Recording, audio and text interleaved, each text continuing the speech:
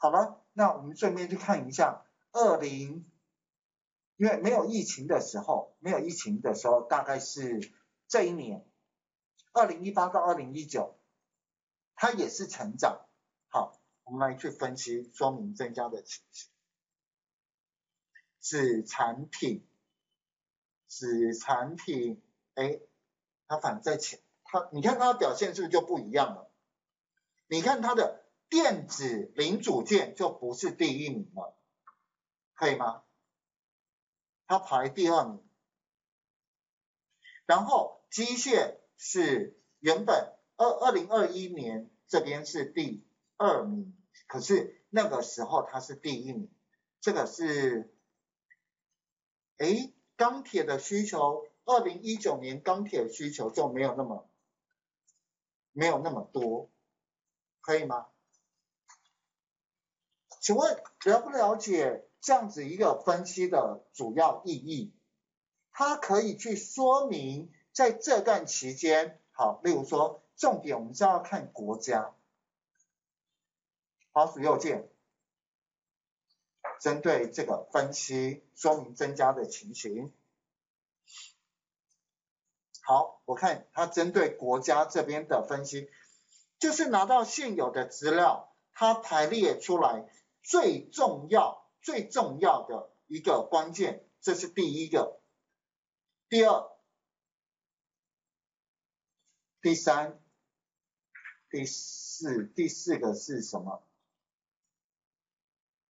第五，好，地区，地区，第六，好了，刚是第五种啊，第一组，因为我们主要是在讲国家，请问你看到了什么？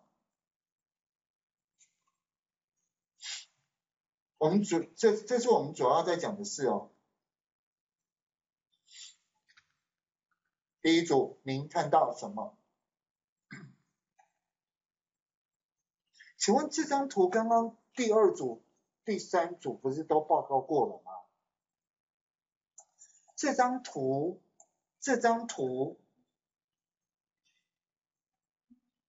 有看到其他在这里？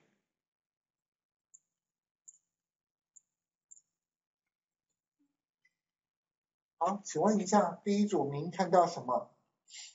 应该是说二零。二零二一年从从世界各国进来的主要国家进来的，应该是都普遍性的增加。